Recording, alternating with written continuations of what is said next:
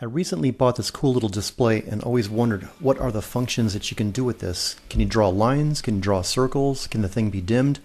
I don't know, but I sought to find the answers. So I wrote a little sketch here and uh, dead simple. Watch my other videos on how to turn this thing on with the, the begin method. And But if I go ahead and type something in like display,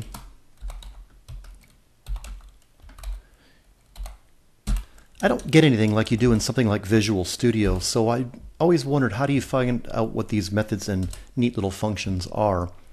Well, up in one of these uh, include files, notice these .h files. These are actually libraries. So we go to our Explorer and we drill down to our Arduino in the uh, programs x86 folder, Arduino libraries, we've got a whole boatload of them. And one that I downloaded from Adafruit it's got this SSD 1306H. So if we open this up, and I'm going to open it up in Notepad, it's got all this fun C code in here, which I know very little about, but enough to hack my way through it. They've got some defines in there, like the color for black, they're calling it 1, white, um, uh, black 0, white 1, and inverse. Hmm, interesting. I wonder if I can make my display inverse. So if we read through this, we find that we have a lot more defines in here, uh, stuff that I don't know what that really means, or to be honest, we really even care about. But we have this class down here on our um, Adafruit.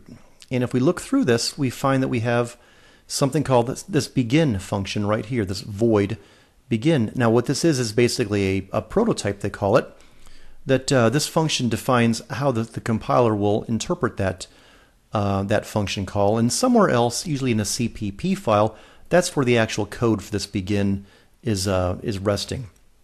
So begin is a little bit familiar. Remember we saw that a second ago in our uh, code. There's also the clear display. I've seen that before. Invert display, hmm, that's interesting there. And even down to dim. So let's go ahead and try some of these functions here. Uh, notice there's a void, means it doesn't return a value, but I have to pass in a boolean probably a 1 or a 0. So let's go ahead and give this a shot. Let's go back to our Arduino, type in display.dim, pass it a value, say 0. Let's make it a delay for, uh, I don't know, how about a second? And then let's do the same thing again, but get it to um, maybe light itself back up.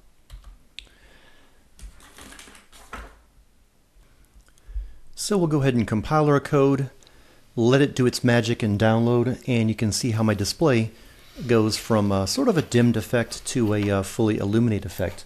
It might be kind of hard to see on the screen here, but trust me, it's going from dim to fully illuminated. And every one second apart, uh, you can see this change happen. So this kind of begs the, the question that uh, are there other cool functions out there that I might want to become aware of? How do you find those out? Well, I could go and rip through all of those .h files and find all of those functions and write them down, or I could find a neat little program to go into all my h files and build a help file for me. So I'm going to go to uh, going to go Google something called it's called Doxygen, D O X Y G E N. And this is a, an org, so this is all freeware, it doesn't cost you a dime go to our little downloads um, tab.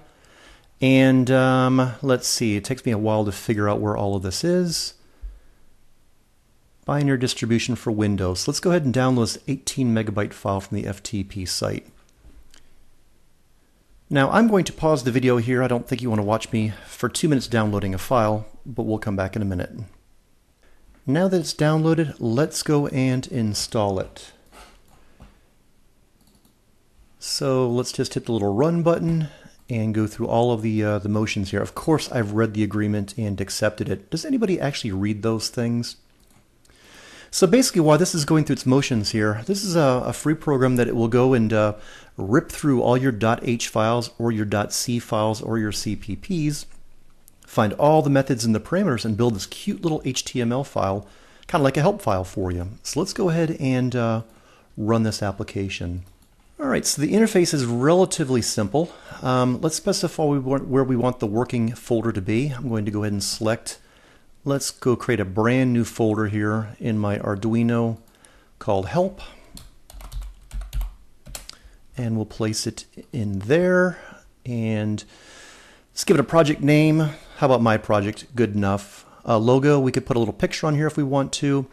The source code directory, and this is where I'm going to pick all of my libraries in my Arduino uh, folder, my x86 folder, and my libraries. And I'm just going to pick everything in that. And of course, I want to scan recursively to go through every folder in that, uh, that structure.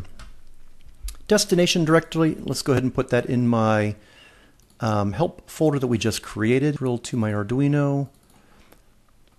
Select folder, and then, but over on expert mode, here is where we're going to want to extract all private uh, local um, methods Let's get some case sensitive names and maybe even show probably good enough for right now. Maybe extract even the package and the static. Then once that is done, we'll go ahead and hit the run. And what it's going to do is rip through all of my folders in, in my Arduino library and build a giant HTML file for me. Now that took all of about a minute or so to run, and it's built this cool HTML file for me. So if I want to see that file. I'll just click it. And notice the My Project, that's what I my little lame name that I gave it. But it shows all of my modules. I've got uh, SPI interface. I can see all the functions that are in there, all the parameters, so on and so forth. I can go to my classes, and I can go to my Adafruit 1306 that we just looked at. And I can look at, there's display, clear display, invert, dim, some of the things that we've looked at earlier. Also, stop scroll. I didn't know it had that. Uh, scroll to the left, scroll to the right, and there's the argument list for that. You'll probably have to Google some of these things to see what these arguments are. Uh, dim, uh, my display.dim that I showed a little while ago, uh, that's a Boolean, uh, a 1 or a 0, and you can kind of get the idea on some of the other um, parameters that you have. Like clear display, you pass nothing in and you expect nothing in return. Let's just go ahead and go to our dim.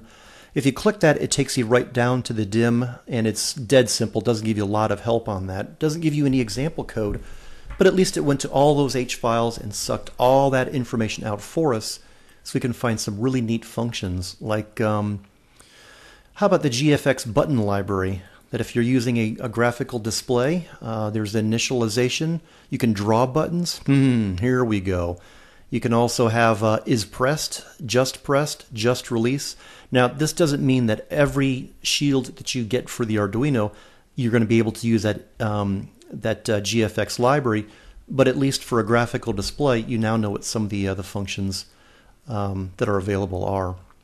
And we could go all through these um, these classes here, which I'm not, but you get the idea on what this cool little tool did for you. It's called Doxygen uh, doxygen.org, I believe it was, and you can get all kinds of neat things like your Ethernet server. How do you set that up? Well, here's all kinds of neat stuff that you can do with your uh, your Ethernet server, like a begin, a write, uh, accept port information, and various other things.